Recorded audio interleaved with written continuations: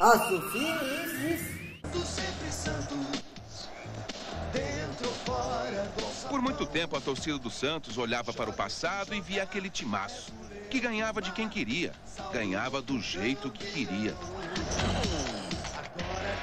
Enxergar aqueles tempos de glória era uma forma de esquecer um presente sem brilho, sem magia. É claro que os primeiros meninos da vila e o gol do Serginho, em 84, vão estar sempre nas lembranças de todo Santista.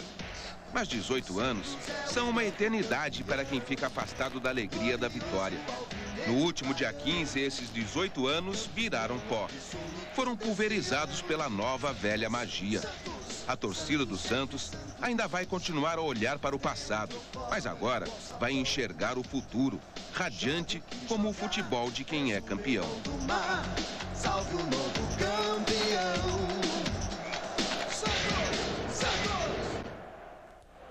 Guilherme cabeceia.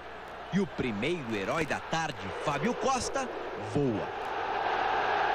Diego, o herói da semana passada, sai de cena logo aos dois minutos da trama. Seus músculos estão enfraquecidos. O substituto Robert não faz questão de ser herói. Ele bate a falta na área. E Alex só não marca porque do outro lado também existem candidatos ao papel principal.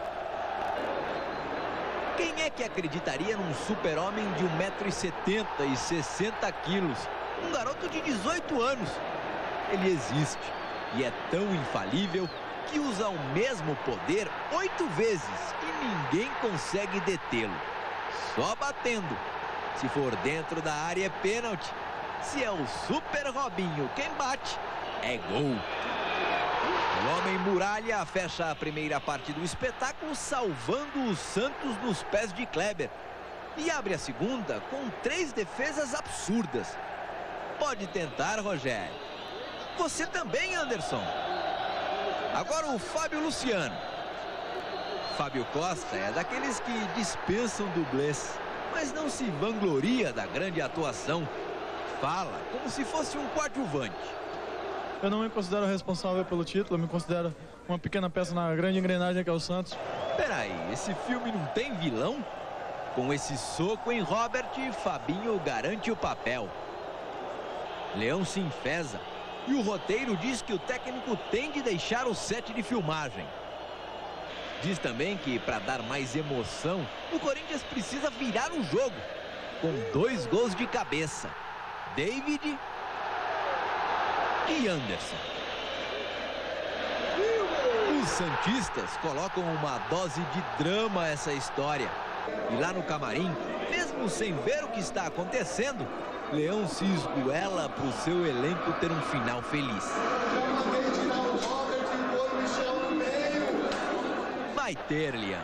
O Super Robinho ainda não terminou de se apresentar. O atacante deixa Anderson para trás. Cruza e Elano acaba com o sofrimento. Depois faz a festa para cima de Kleber e Vampeta. Na sobra, Léo corta, chuta e deixa o diretor Leão em êxtase.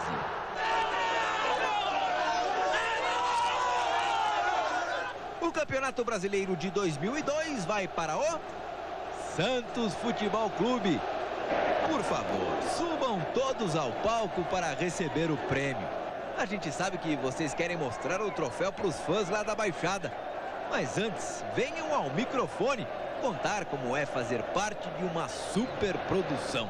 Ajudei a minha equipe com as minhas arrancadas e vamos comemorar esse título do Campeonato Brasileiro, que é muito importante. Depois de dois vices, acho que esse título é maravilhoso. É maravilhoso, estou muito feliz com isso é um sonho realizado. É sempre bom você estar tá sendo marcado na, na história do futebol brasileiro.